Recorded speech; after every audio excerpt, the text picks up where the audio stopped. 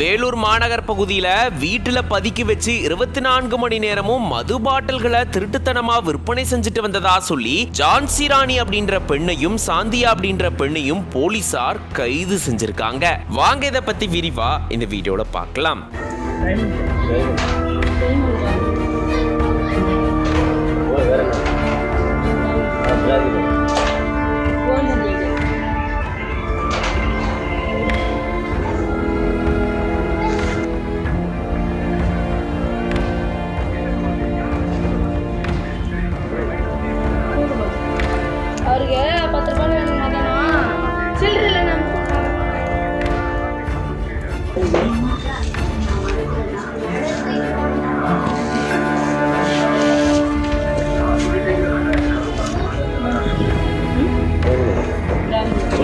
네, 엄마.